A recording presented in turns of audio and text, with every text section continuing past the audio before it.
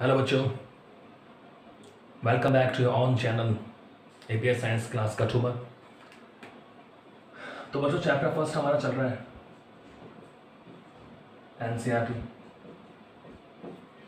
और हमने आवेश के गुणधर्मों के बारे में बात कर ली है। आवेश के गुणधर्म हम पढ़ चुके हैं। क्वांटीकरण संरक्षण, आवेश अदिश राशि है। आवेश के प्रकार हम पढ़ चुके हैं। ठीक है? तो आज हम पढ़ेंगे आवेश का यूनिट क्या होता है, क्योंकि आवेश एक भौतिक राशि है तो उसका यूनिट भी होना ज़रूरी है। तो हम पढ़ेंगे कि आवेश को अपन मेजर किसमें करते हैं यूनिट क्या होता है उसका। तो आज का हमारा टॉपिक क्या है? आवेश का मात्रक।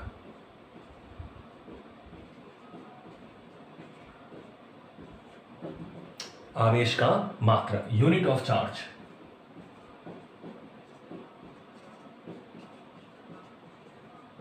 unit of charge, ठीक है? कोई भी भौतिक राशि हो, इसका हम मापन कर सकते हैं तो उसका मात्रक भी होगा कि हमें इसे किसमें मेजर करना है। तो कितना चार्ज है तो चार्ज का मेज़रमेंट अपन किसमें करते हैं, उसकी बात करें।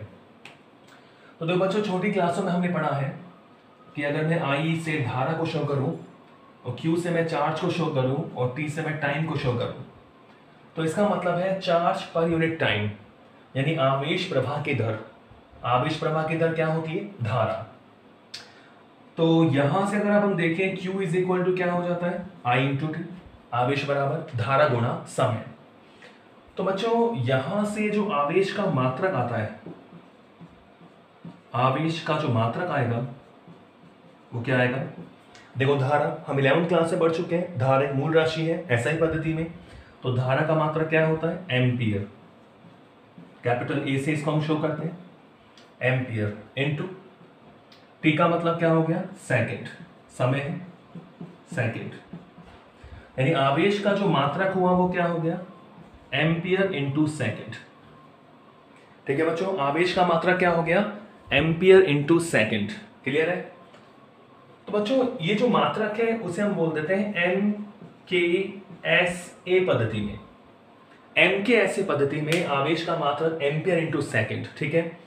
Metre, kilogram, second and A for ampere तो एम के ऐसी पद्धति में आवेश का मात्रा क्या हो गया? एम्पियर इंटू सेकेंड ठीक है बच्चों? इस एम्पियर इंटू सेकेंड को मिलाकर ही बोलते हैं कूलाम। इसी को हम क्या बोलते हैं? कूलाम। कैपिटल सी से हम इसको शो करते हैं। तो आवेश का एम के ऐसे पद्धति या ऐसा ही पद्धति में जो मात्रक है, वो क्या होता है? कुलाम होता है। कितना होता है बच्चों? कुलाम क्लियर है ना? एम के एस पद्धति में आवेश का मात्रा क्या होता है? गुलाम, या ऐसा ही पद्धति हम लेके चल सकते हैं। ठीक है? तो ये बात क्लियर हो गई। तो मैं लिख सकता हूँ, ऐसा ही पद्धति में आवेश का मात्रक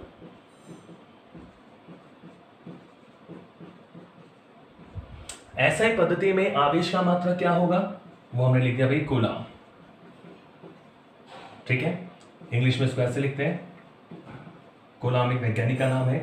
कैपिटल सी से इसको हम शो करते हैं। स्मॉल सी स्मॉल सी प्रकाश का वेग होता है। Small c is equal to three into ten raise to the power eight metre per second तीन गुणा दस की घात आठ मीटर पर सेकेंड तो ऐसा ही पद्धति में आवेश का मात्रा क्या होता है? कूलाम, कैपिटल सी ठीक है बच्चों? अब बात करें देखो सीजीएस पद्धति में। सीजीएस पद्धति में आवेश का जो मात्रक होता है, उसे बोलते हैं स्टेट गुलाम सीजीएस पद्धति में आवेश का मात्रक क्या होता है? स्टेट गुलाम क्या बोलते हैं बच्चों? स्टेट गुलाम ठीक है? स्टेट गुलाम ये इसको हम बोल सकते हैं ई एस यू क्या बोलते हैं? ई एस यू या बच्चों इसी को बोल देते हैं Franklin Franklin F R CGS पद्धति में आवेश का मात्रक होता है स्टेट गुलाम या ईएसयू या फ्रैंकलिन बच्चों ईएसयू जो है ईएसयू का पूरा नाम क्या होता है? Electro static unit electrostatic unit यानी जो स्टेट को नाम है, वो कैसी यूनिट होती है? उसे बोलते हैं आवेश की, देखो इलेक्ट्रोस्टैटिक स्टैटिक स्टैटिक मतलब स्थिर इलेक्ट्रो मतलब वैद्युत. तो आवेश की स्थिर वैद्युत इकाई होती है।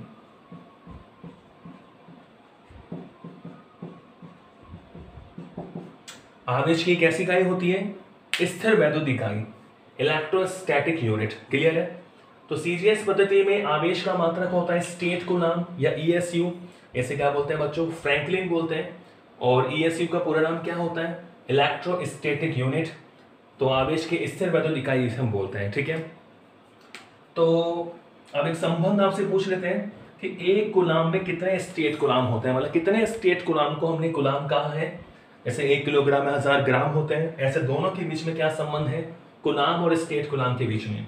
तो एक गुलाम बराबर होता है बच्चों तीन गुणा दस की घात नौ ई एस यू इंपॉर्टेंट है, पूछ लेते हैं। एक गुलाम बराबर क्या होता है? तीन गुणा दस की घात नौ E S U three into tens to power nine E S U यानी इतना ई एस यू मिलकर क्या बनेगा? एक गुलाम। इसका मतलब गुलाम एक बड़ा मात्रक है। तीन गुणा दस की पावर नौ ई एस यू मिलकर क्या बनता है बच्चों? एक गुलाम। ठीक है ना? तो काफ़ी ज़्यादा बड़ा मात्रक है। छोटे मात्रक नाम ले सकते हैं, जैसे माइक्रोन को नाम ले लिया। क्वेश्चन हम देंगे।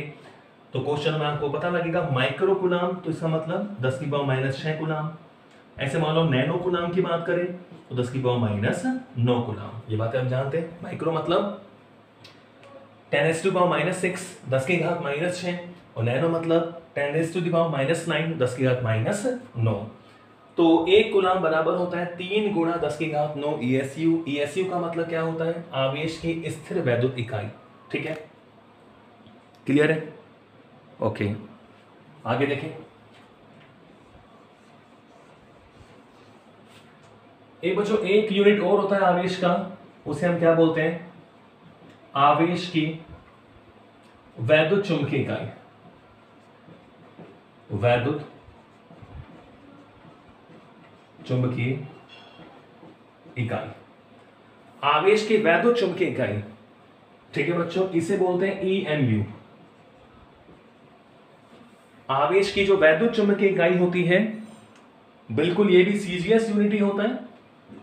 ईएमयू e भी सीजीएस यूनिट है। लेकिन ये वैद्युत चुंबकीय इकाई है ईएमयू e तो ईएमयू का मतलब क्या हो गया? Electro magnetic unit electromagnetic unit आवेश की वैद्युत चुंबकीय इकाई क्या होती है? E M U electromagnetic unit और बच्चों, इसी को बोलते हैं एब गुलाम ये ध्यान रखना है आपको इसका नाम। एब गुलाम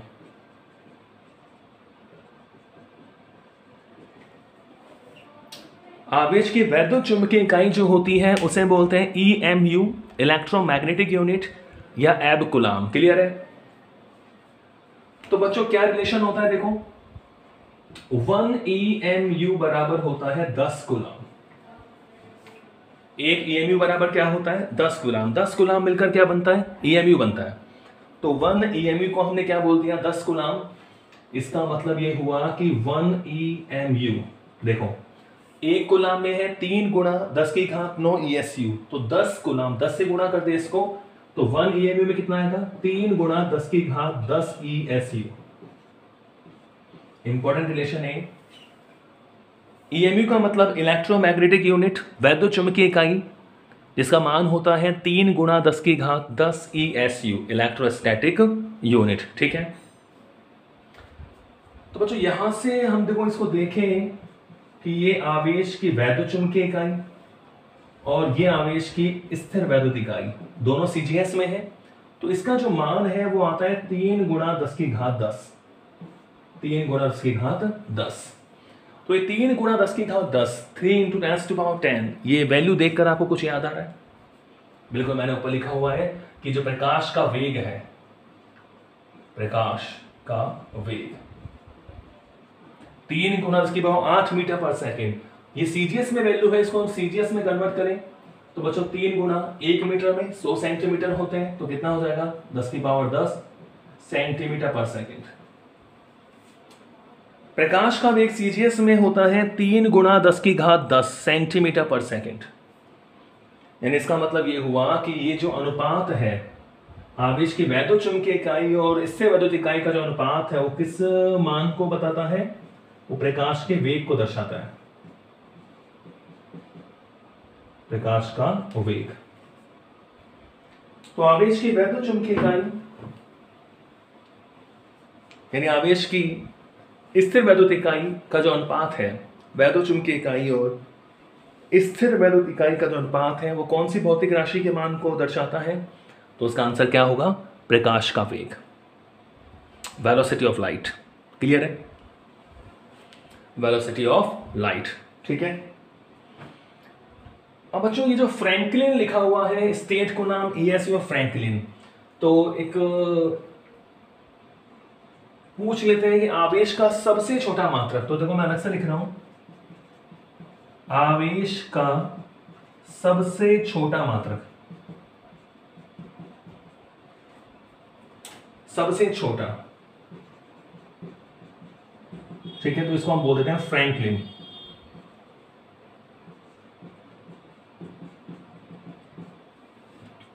ईएसयू भी बोल सकते हैं, स्टेट गुलाम भी बोल सकते हैं। तो आवेश का सबसे छोटा मात्रा क्या होता है? फ्रैंकलिन एफ़ आर तो जो छोटा है तो बड़ा भी होगा। तो आवेश का सबसे बड़ा मात्रक आवेश का सबसे बड़ा मात्रक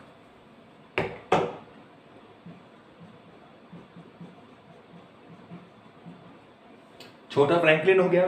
सबसे बड़ा जो मात्रक होता है, वो क्या होता है? फैराडे बोलते हैं उसको। कैपिटल एफ़ तो आवेश का सबसे बड़ा मात्रक होता है फेराडे ठीक है? और सबसे छोटा मात्रक क्या होता है? फ्रैंकलिन क्लियर है? तो फ्रैंकलिन का तो हमें पता है कि कितना मान है उसका? देखो फेराडे में लिखता हूँ कि एक फेराडे किसके बराबर होता है? एक फराडे होता है बराबर छियानवे हज़ार पाँच सौ गुलाम।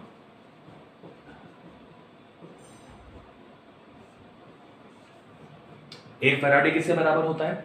छियानवे हज़ार पाँच सौ गुलाम तो बड़ा मात्रा क्या है? गुलाम ही काफ़ी बड़ा मात्रा है आप देख रहे हैं? नीचे, ये तीन गुणा दस की घात नौ ई एस यू मिलकर एक गुलाम बनता है। तो छियानवे हज़ार पाँच सौ गुलाम मिलकर बनता है फेराडे ठीक है क्लियर हो गया बात? सबसे बड़ा मात्रा फेराडे होता है, सबसे छोटा फ्रैंकलिन होता है। ईएसयू का मतलब इलेक्ट्रोस्टैटिक यूनिट इससे वैद्युत इकाई एक गुलाम बराबर, तीन गुना उसकी बात नो ईएसयू और वैद्य चुंबकीय इकाई होती है ईएमयू इलेक्ट्रोमैग्नेटिक यूनिट एक ईएमयू बराबर होता है दस गुना तो एक ईएमयू बराबर तीन गुना इसकी पावर दस ईएसयू इनका अनुपात प्रकाश के वेग के बराबर होता है। ये हो गया बच्चों, आवेश का मात्रक, ठीक है?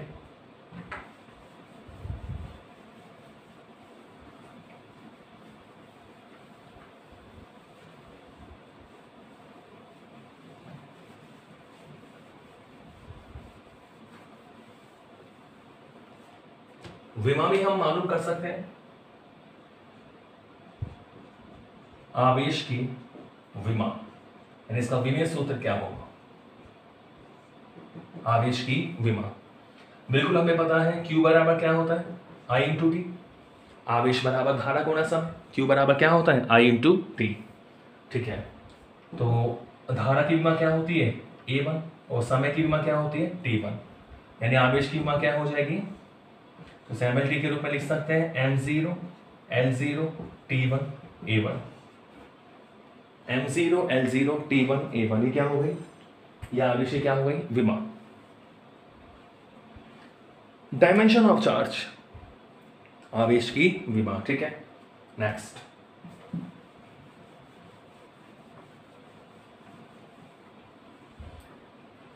तो बच्चों, ये आवेश और उसके गुणधर्म हमने पढ़ लिए, आवेश के मात्रक हमने पढ़ लिए। तो अब हम पढ़ेंगे वेरी इंपॉर्टेंट लॉ जो एग्ज़ाम में भी आता है, उस पर क्वेश्चन भी बनते हैं काफ़ी।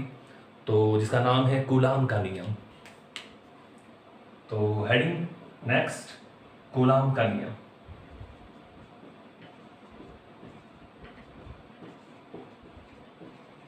ठीक है? इंपॉर्टेंट कुलाम का नियम कुलम्स लो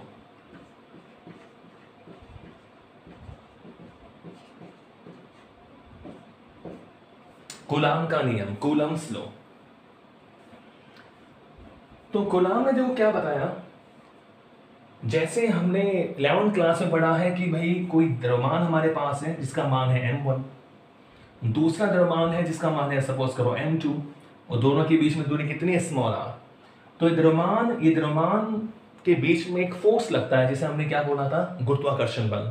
तो न्यूटन के अनुसार F is equal to force कितना होता है? G M one M two upon R square तो दोनों के मध्य लगने वाला गुरुत्वाकर्षण बल था।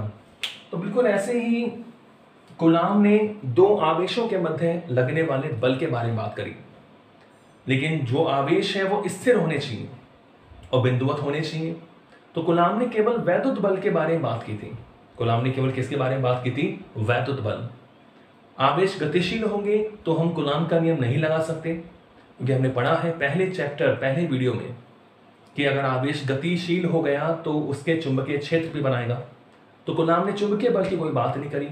गुलाम ने केवल किसकी बात करी? वैद्युत बल की। तो गुलाम क्या कहता है? इसको मैं लिख दू, देखो। गुलाम के नियमानुसार हम क्या लिख सकते हैं? गुलाम के नियमानुसार।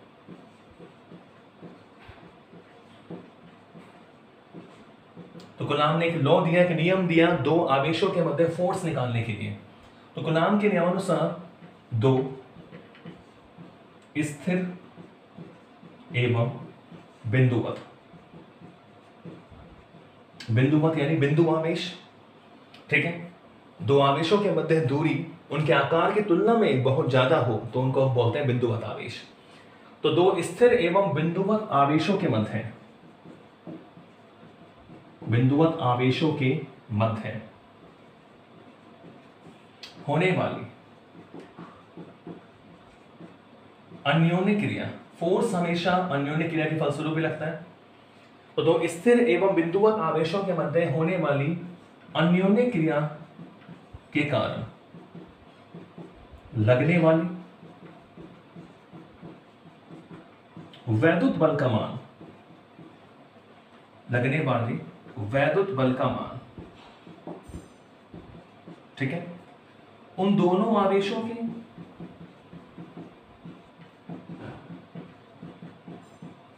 दो आवेश मेरे पास है जो कि स्थिर होने चाहिए, बिंदुवत होने चाहिए तो उनके मध्य होने वाली अन्योन्य क्रिया के कारण लगने वाले वैद्युत बल का मान उन दोनों आवेशों के परिमाणों के। ठीक है? आवेश पॉजिटिव भी हो सकता है नेगेटिव भी हो सकता है बात कर रहे हैं परिमाण की। उन दोनों आवेशों के परिमाणों के गुणनफल के गुणनफल के समानुपाती एवं उनके मध्य उनके किन के? आवेशों के मध्य एवं उनके मध्य दूरी के, वर्ग के विद क्रमानुपाती इनवर्सली प्रोपोर्शनल उनके मध्य दूरी के वर्ग के विद क्रमानुपाती होता है। तो ये था बच्चों गुलाम का नियम कि दो स्थिर एवं बिंदुवत आवेशों के मध्य होने वाली अन्योन्य क्रिया के कारण फोर्स हमेशा लगता है किसके कारण? अन्योन्य क्रिया के कारण। लगने वाले वैद्युत बल की बात हो रही है केवल, चुंबकीय बल की बात नहीं कर रहे। यानी हमारे दोनों आवेश कैसे होने चाहिए? स्थिर होने चाहिए।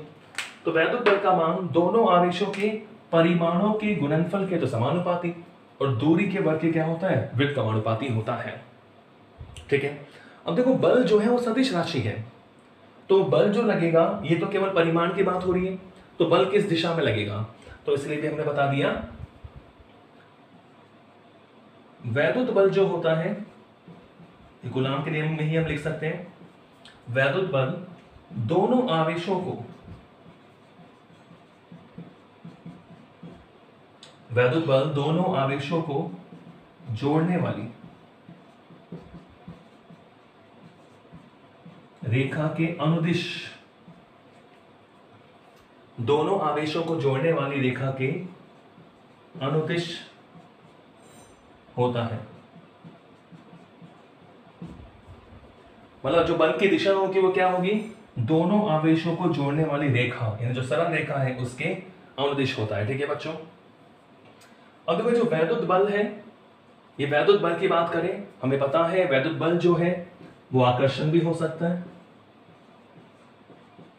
और क्या हो सकता है? प्रतिकर्षण भी हो सकता है।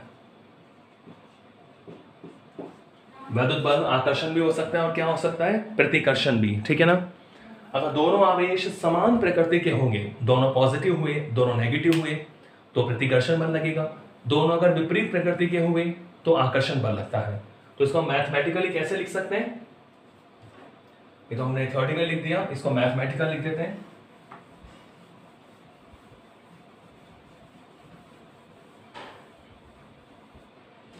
तो सपोज़ करो, मैंने माना ये चार्ज है Q1 और दूसरा चार्ज कितना है? Q2 ठीक है?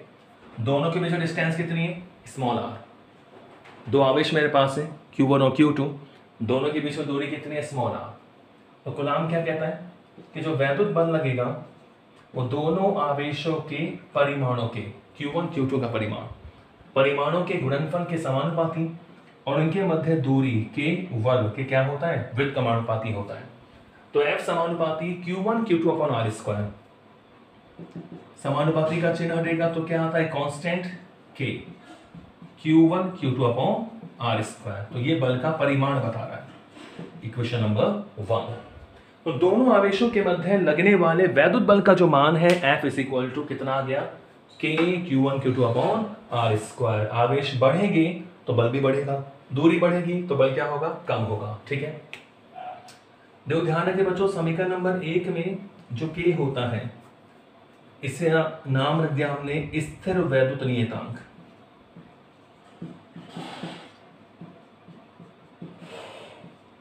के क्या होता है भाई? स्थिर वैद्युत नियतांक और इस के का जो मान है, देखो एम के में के का जो मान होता है, वो होता है नौ गुणा दस की घात नौ। नौ गुणा दस की घात नौ। मात्र यहाँ से निकाल सकते हैं। Newton metre square. Newton metre square पर गुलाम स्क्वायर। यह एमकेएस में के का मान होता है। नौ गुणा दस की घात नौ न्यूटन मीटर स्क्वायर पर गुलाम स्क्वायर। बच्चों सीजीएस में जो के की वैल्यू होती है, वो होती है वन मात्रा क्या होगा? न्यूटन से डाइन हो जाएगा, मीटर से सेंटीमीटर हो गया, और ये ई एस यू गुलाम से क्या बन जाएगा? ई एस यू का स्क्वायर तो एम केस में के बराबर होता है nine into tens two power nine newton metre square पर गुलाम स्क्वायर। और सी जी एस में के बराबर होता है वन डाइन सेंटीमीटर स्क्वायर पर ई एस यू स्क्वायर ठीक है बच्चों? तो ये मान कहाँ से आया? ये मैं आपको बता दूँ। देखो के की जो वैल्यू होती है, ये बराबर होता है one upon four pi epsilon naught के बराबर क्या होता है? One upon four pi epsilon naught ठीक है? K is equal to one upon four pi अब देखो जो एप्सलन नॉट होता है, इसे बोलते हैं निर्वात की विद्युतशीलता। एप्सलन नॉट को हम क्या बोलते हैं? निर्वात की विद्युतशीलता। इसका मान कितना होता है? एक बटन छत्तीस पाई गुणा की घात नौ। ठीक है, नौ बार कटेगा ये। तो बच्चों, ये ऊपर चला जाएगा तो के बराबर क्या आ जाएगा यहाँ से? नौ गुणा दस की घात नौ। इस तरह आता है। एप्सन नोट को बोलते हैं निर्वात की विदुशीलता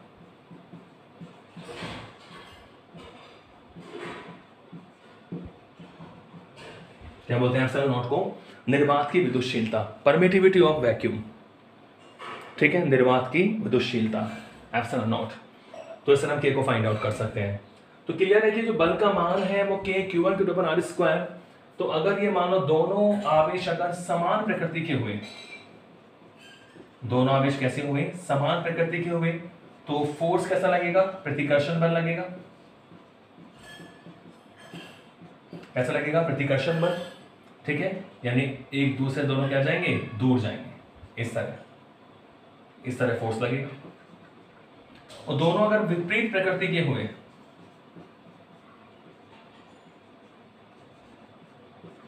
दोनों कैसी प्रकृति के हुए विपरीत प्रकृति के हुए तो जो बल की प्रकृति होगी, वो कैसी होगी? आकर्षण होगी। बल कैसा होगा? आकर्षण। यानी मान लो एक Q1 है और दूसरा मान लो माइनस क्यू टू है सपोज़ करो। तो एक पॉजिटिव है, दूसरा नेगेटिव है ये इसके पास जाएगा, ये इसके पास जाएगा। कितने फोर्स से? एफ़ फोर्स से। तो बल अगर समान परिमाण के होंगे सो ये समान प्रकृति के होंगे तो प्रतिकर्षण बल होगा, और विपरीत प्रकृति के होंगे तो क्या होगा? आकर्षण बल होगा। तो आज हमने इंपॉर्टेंट नियम पढ़ा कुलाम का नियम। ठीक है नेक्स्ट अगली वीडियो में। Thank you